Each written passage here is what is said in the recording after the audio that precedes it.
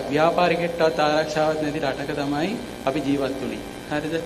ඉතින් රනිල් කියන ලේමාපිලාගෙන් ඔබතුමාගේ ජීවිතය බේරාගන්නේ කොහොමද කියන එක මට ලොකු ප්‍රශ්නයක්. හරිද? ඉතින් මගේ මගේ මගේ අදහස නම් ඔබතුමා වෙන රටක ඉඳලා හැම වෙකෙනෙන් හැම හැම මීටින් එකකටම ඔබ ආමන්ත්‍රණය කළ යුතුයි ඔන්ලයින් තාක්ෂණය ඔස්සේ කියන එක තමයි මගේ අදහස. ඒ කියන්නේ ඔබ ජීවිතේ බේරගත්තොත් තමයි අපිට Mercantile Investments and Finance Pay අභිමානවත් හැටවන සංවත්සර සැමරුම NPP ආණ්ඩුවක් දකින්න පුළුවන්. පළවෙනි එක ආරක්ෂාව ගැන.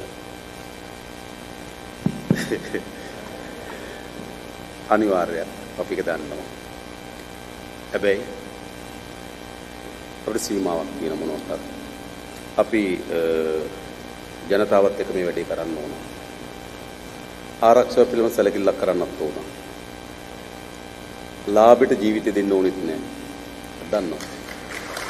නිසා ඊට සරිලන වැඩ පිළිලක ඉඳන් අපි වැඩ කරනවා. ඒ නිසා බලමුනේ අපිත් ලංකාවේ ඒගොල්ලොත් ලංකාවේ. දසත නිවස් ප්‍රධාන පුවත් විකාශය සවස හයයි විසි පහට සුප්‍රීම් ඔස්සේ. දවසේ දසත පැතිරුණු පුවත් ඇසිල්ලෙන් දැනගන්න. දසත YouTube නාලිකාව සබස්ක්‍රයිබ් කරන්න.